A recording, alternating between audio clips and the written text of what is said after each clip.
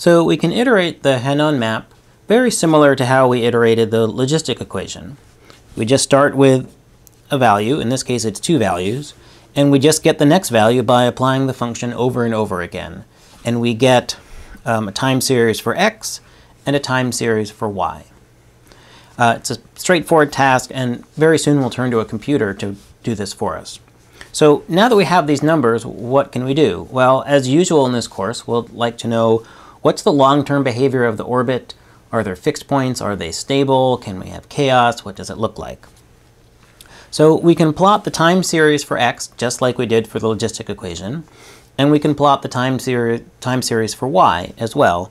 Those will both be one-dimensional functions, i.e. dimension for x, a dimension for y.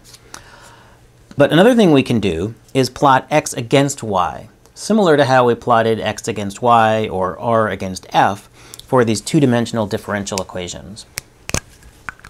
So for the logistic equation, we had a final state diagram that was one-dimensional. Here, we could have a diagram that would be two-dimensional.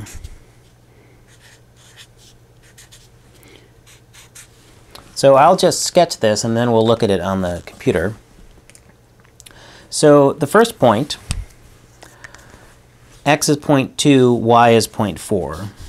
So I might go over 2, up 4, maybe something sort of roughly like that. And then the next point, x is 1.3. Let's see, so that would maybe be out here. And y1 is, is kind of down here right? Because x is 1.364, y is 0.06. So there's that point. Then the next point, now x is negative, minus 0.6, and y is 0.49. That looks like, let's see, that would probably be around here. And let's see, this is 0.0, that was 0.1, this was 0.2, and so on.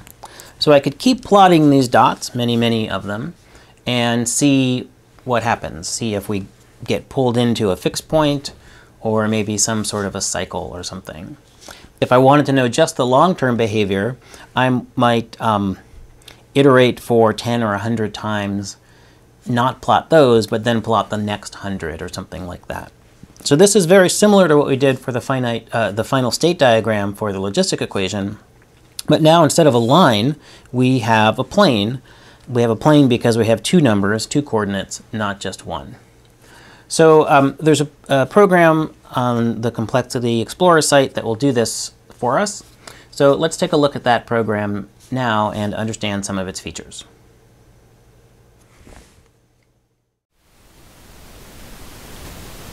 So here's the program on the Complexity Explorer site that will make time series plots of the Hénon map for us. You can find this program um, on the site. There's a link to it in the right-hand navigation bar. I think it's section 7.6 or 7.7 says something like Hénon map programs. Shouldn't be too hard to find. So here's the program. Uh, it comes up in a pop-up window that I've resized slightly and it should look pretty familiar. It's very similar to the um, program that we used to plot um, the logistic equation, the logistic map. So uh, first we can control the number of iterations. I'll choose the default 40. Our initial conditions, the ones we've been working with, uh, x naught is 0.2, but y naught is 0.4, so I'll change that. And the parameter a, there are two parameters now. A is 0.9, B is 0.3, and um, I'll describe what this um, box does in a second. So let's make the plot. So this is a time series plot for the x values. The x values change over time. Time 0, time 1, time 2, and so on. And there's the time series plot. And here's a time series plot for the y value. It also changes over time, and we can make time series plots for both x and y separately, just like we did for the logistic equation. Let me zoom, just slide down here. Um, it also produces uh, a list of numbers. Here's our initial condition 0.2, 0.4. The first iterate was 1.364, 0.06 that we did in the video.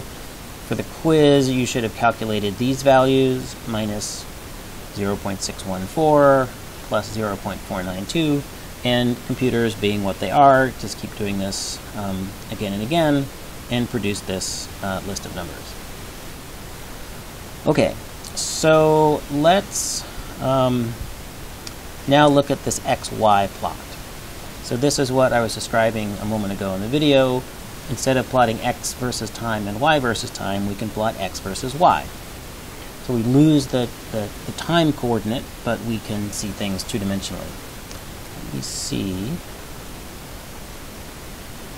I know if that will be visible. I'll shrink it down a little bit. Um, the first value, our initial condition was 0.2, 0.4. It's probably too small to see anyway.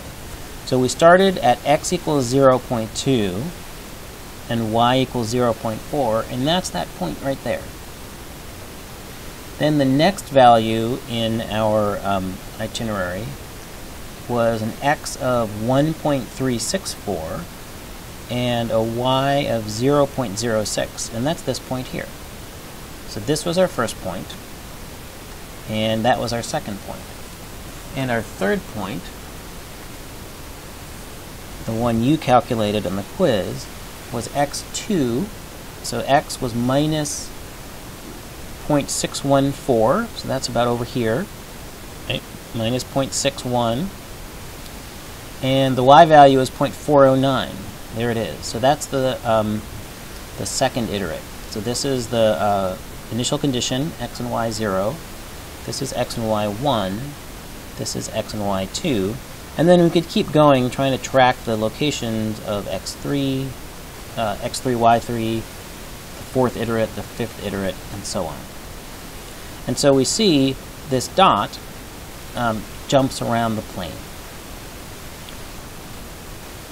Often in dynamical systems, we're interested just in the long-term behavior of the um, system. So it kind of looks like this is going to something that's periodic. Let's let's kind of test that out. Maybe I'll plot a hundred iterates to make the time series plot. And it does indeed look like it's becoming almost, maybe it's period 2, maybe it's period 4. It's a little bit hard to tell. Maybe I'll let's see, uh, let's go back and look at this. So here, this is the XY view. There's our starting point. Um, there's the next point. There's the next point. And we can see that points are accumulating in here. If we're interested in the long-term behavior, I don't want to plot these first um, dozen or first 20 or 30 points. I'm really interested in just the, the points after the, the map has been going for a while.